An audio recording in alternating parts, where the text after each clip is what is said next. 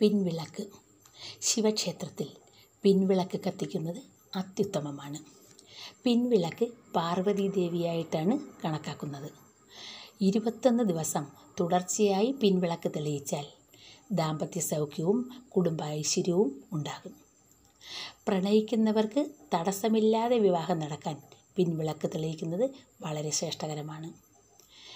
ദേവന്മാരുടെ ദേവനായ ശിവഭഗവാൻ സകല ഗ്രഹങ്ങളുടെയും നാഥനാണ്. ഭഗവാനെ ആരാധിച്ചാൽ തീരാത്ത ദുരിതങ്ങളില്ല. ഏത് ദുർഘടമായ ദശാസന്ധിയെയും മറികടക്കാൻ ശിവഭഗവാനെ ധ്യാനിച്ചാൽ മാത്രം മതിയാകും. മനഃശുദ്ധിയോടെ ഓം നമശിവായ എന്ന മന്ത്രം ഉരുവിടുമ്പോൾ മനസ്സിനും ശരീരത്തിനും ഭഗവാന്റെ ഒരു ദിവ്യമായ ചൈതന്യം അനുഭവിച്ചറിയാൻ കഴിയും. ശിവഭഗവാന് ഏറ്റവും പ്രിയപ്പെട്ടതാണ് ധാര. ഭഗവാന്റെ ശിരസിന് മുകളിൽ തൂക്കിയ പ്രത്യേക പാത്രത്തിൽ സുഷിരമുണ്ടാക്കി മൂന്ന് ദർഭ കൂട്ടിയുണ്ടാക്കിയ ചരടിലൂടെ ശിവഭഗവാന്റെ ശിരസിലേക്ക് ധാര ഇറ്റ് വീഴുന്നു. നല്ല ശുദ്ധജലമാണ് ഇതിനുപയോഗിക്കുന്നത്. ഭഗവാന് ധാര നടത്തുന്നത് സകല രോഗപരിഹാരങ്ങൾക്കും ശ്രേഷ്ഠകരമാണ്. ഭഗവാനെ സന്തോഷിപ്പിക്കുവാൻ ധാര കഴിക്കുന്നത് ഉത്തമമാണ്. പിറന്നാൾ ദിനത്തിൽ കഴിക്കാൻ കഴിയുന്ന ഏറ്റവും ശ്രേഷ്ഠകരമായ വഴിപാടാണ് ധാര.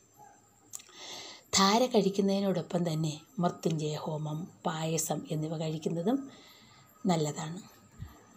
പായസം ഒട്ടും പാഴാക്കാതെ ഭക്ഷിക്കുകയും മറ്റുള്ളവർക്ക് വിതരണം ചെയ്യുകയും ചെയ്യണം. ഭഗവാന്റെ ശിരസിലേക്കാണ് ഗംഗ ആദ്യം ഒഴുകി വന്നത്.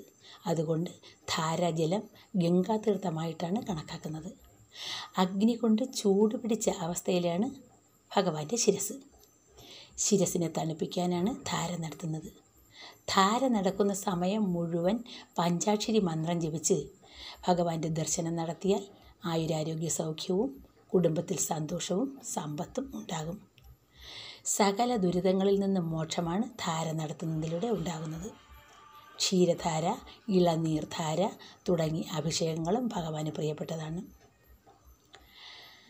പാലഭിഷേകവും ഇളനീരഭിഷേകവും നടത്തിയാൽ നടത്തുന്നത് വെറും വയറ്റിൽ സേവിക്കുന്നത് ഉത്തമമാണ്.